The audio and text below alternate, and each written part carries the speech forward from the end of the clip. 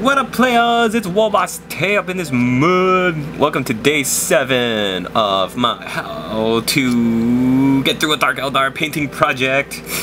Uh, I've got my 17 witches here that are still in various states of completion. So today, the goal is going to be to clean up all of the areas that um, may have gotten stray bits of paint in them.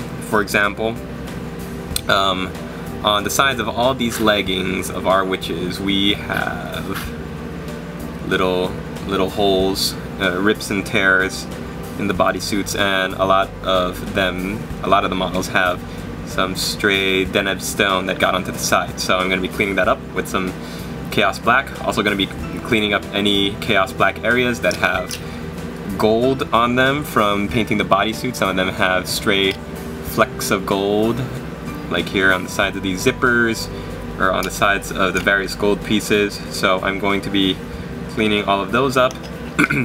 uh, sometimes if you look at the bottom, these uh, anklets, sometimes when I was trying to get to the gold, it a little bit splashed onto the, let's see where's a good angle that you could see some of this, some of the gold, uh, gold paint got onto the, the, the shoe or the, the boot, so I'm gonna have to be keeping an eye out for those as well. But basically, today is just a day of, of cleaning.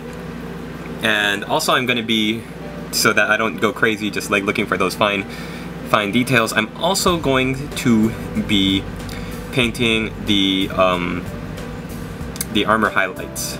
Yeah, I was thinking of doing the hair, but you know, I think I'm going to do the armor highlights so that I can um, at least have have that done with as well. And then once the armor highlights are done, I can give everything a Badab Black. It'll tone down all this gold colors. It'll tone down the armor highlights, and um, and then I can just build up the hair and the skin and be done with it. Um, after adding in final details like like purple cloth around some of the some of their arms. Some of them have purple um, cloth stuff, and of course there's the fleshy the fleshy cod uh, loincloths or the cod pieces so still a, a, little ways to go yet, but now everything's starting to come together. Only got 17 to paint, so looking forward to it. We'll see you in a couple of hours. Alright, so I failed. Um, I didn't get through as much as I wanted to, but I did finish another three completely. So let's take a look at them. Here's one of them. This guy running forward. And I'm really liking painting these uh, green drug tubes in the leg in the leg leggings. I think they, they're just pumping themselves so full of drugs. I think that's really really fluffy and interesting. Uh, so there's the first guy. And here's the second one. I also decided to start adding some blazing orange to the highlights for the hair. And uh, you can see a little bit of the tattoo on the face. There's the purple of the knife. And uh, purple cloth on the knife and hanging from the belt. That's number two, and here's number three that I finished today. So we can get in a little closer. Last one. So painting the eyes on these are really hard because you want to get in as you know, as small as possible, give them that black eyeliner above and below the eye, and then paint in that white, those white slashes where the eyes are going to be those horizontal lines, and then painting in those vertical lines for the actual pupils.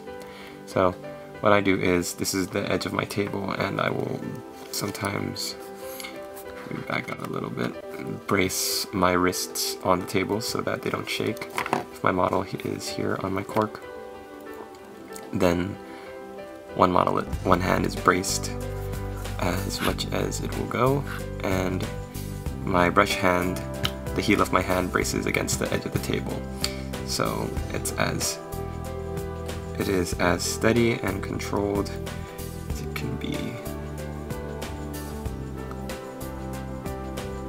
Yep, so that's how I do really, really fine work. If I'm not working on a camera, if I'm having to film a live action tutorial, then um, chances are I might not be that detailed and precise because I want to keep it in focus, but I'll go back and fix it later using this positioning and um, bracing, stabilizing yourself.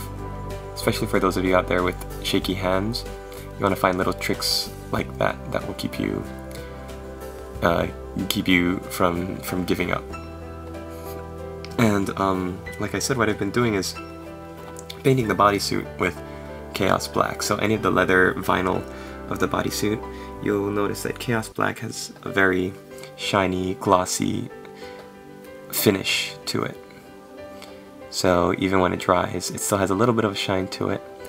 And um, if you varnish it, you even amplify that effect even more. But I think it has a really good, really good shiny effect that you don't have to worry about about highlighting too much. If you really want to, then you can go in and do some highlights, but I think I'm just gonna leave, leave it as, as is because I don't want the highlights to detract from the, the highlights of the armor plates. okay, so thanks for watching. This is Project Dark Eldar day numero 7, and we'll see you tomorrow, and the goal will hopefully be to get some more um, complete layers done before I, I lose my discipline and uh, focus on going like in groups of three, which I seem to enjoy doing at this stage. Alright, see ya.